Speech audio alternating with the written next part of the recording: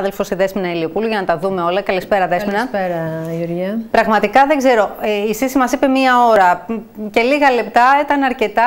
Είναι χαρακτηριστικές οι εικόνες. Ε, μιλάμε ε, για κάτι που προβληματίζει στην καρδιά κυριολεκτικά 13 Ιουλίου του καλοκαιριού. Έτσι ακριβώς και εδώ φαίνεται πλέον ότι έχουμε αυτή την κλιματική αλλαγή. Φαινόμενα τα οποία από ό,τι καταλαβαίνουμε θα τα βλέπουμε πάρα πολύ συχνά από εδώ και πέρα.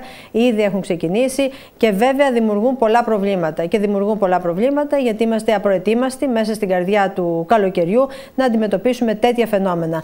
Όπως ακούσαμε και στο ρεπορτάζ, ε, έγιναν πάρα πολλά σήμερα στην πόλη της Καλαμάτας. Οι περισσότεροι δρόμοι πλημμύρισαν. Να πούμε ότι πλημμύρισαν ε, ακόμα και δρόμοι της Κυπούπολης, ε, στην Παραλία, στη Φαρόν, στην Ακρίτα, στα Γιαννιτσάνικα, στο Ασπρόχωμα. Βλέπουμε και τις εικόνες αυτές. Ε, πραγματικά έτσι βλέπουμε πώς ήταν η κατάσταση σήμερα στους δρόμους της Καλαμάτας. Καλοκαίρι και όχι δεν μόνο. προβληματισμός για μια Βέβαια. σειρά από πράγματα είναι αλήθεια. Έτσι; Ε, προβληματίζουν. Προβληματίζουν πραγματικά αυτές οι εικόνες ε, μέσα στην καρδιά του καλοκαιριού. Ε, και βέβαια να πούμε ότι η κακοκαιρία αυτή δημιούργησε προβλήματα ε, και σε άλλες περιοχές της Μεσσηνίας. Ε, και βέβαια ε, δεν είχαμε και ηλεκτρικό ρεύμα για κάποιες ε, ώρες και τα φανάρια δεν λειτουργούσαν το κέντρο της πόλης, ε, τι να πούμε, άλλαξε τελείως.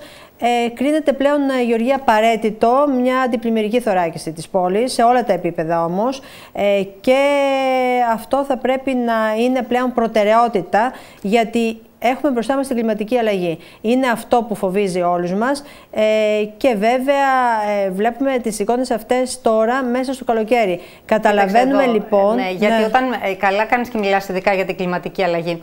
Γιατί όταν ε, είμαστε 13 σήμερα ο μήνας, πραγματικά στην, καρδιά, του καλοκαιριού, δηλαδή στα μέσα του Ιουλίου, δεν μπορώ να φανταστώ ότι μπορεί να γίνει το φθινόπωρο, το χειμώνα.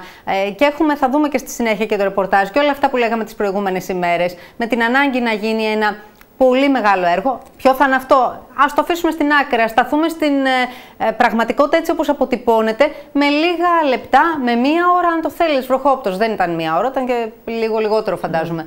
Δεν ξέρω. Όμως έπεσαν 60 ε, χιλιοστά νερού, έτσι, μεγάλη ποσότητα, ε, είναι να το πούμε αυτό.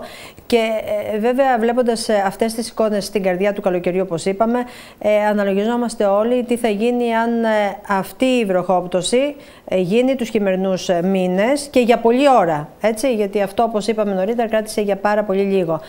Κάτι πρέπει να γίνει. Ε, πρέπει πλέον να μεριμνούμε ε, και τους καλοκαιρινούς μήνες, όχι τους χειμερινούς μήνες μόνο. Παραλία είναι ε, Ναι, είναι η παραλία, παραλιακή αυτή. Ε, βλέπουμε έτσι, με δυσκολία να κυκλοφορούν τα αυτοκίνητα. Ε, έχει μετατραπεί σε ποτάμι. Ε, εδώ η Ναβαρίνου. Και με τουρισμό, έτσι, και με, με τουρίστες. Ναι, εντάξει.